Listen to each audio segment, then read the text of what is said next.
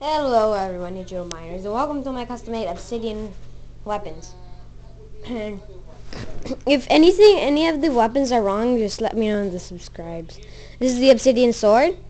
I got the black part and attached it to it. It's actually really easy. The obsidian scythe. Yeah, this part needs to be black, I think, but other than that, the rest of it's easy. The nunchuck's super easy. I mean, if you have these black chains, then put the golden highlights on them.